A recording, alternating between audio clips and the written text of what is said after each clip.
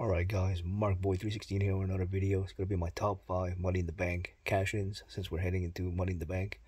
Number 5 is uh, CM Punk cashing in on Jeff Hardy after he had just won uh, the title of Edge at Extreme Rules. Right after a ladder match, he cashed in and uh, pinned uh, Jeff Hardy with two go-to-sleeps. So great uh, cash-in right there. That was fantastic.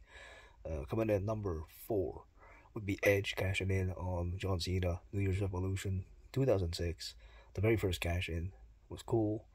Uh, took two spears to, to hit on Cena and get the, the victory and made Money in the Bank what it is to, today.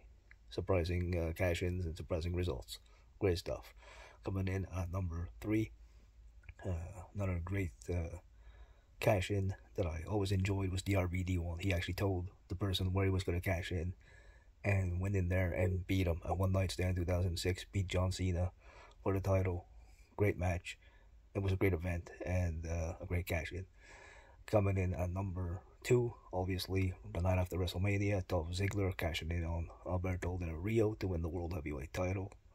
Great stuff. The pop Ziggler received, great stuff. Then he will go on to lose it three weeks later, but what the hell was that? But great cash in. And number one, obviously, is the heist of the century, Seth Rollins cashing in on uh, at WrestleMania uh, 31.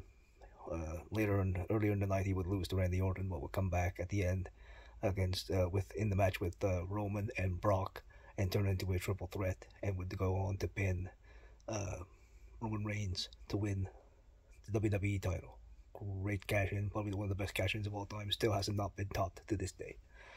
So thank you guys for joining me, and I'll catch you guys in the next one. And subscribe to the Mark Boy uh, 316 channel, because Mark Boy 316 said so.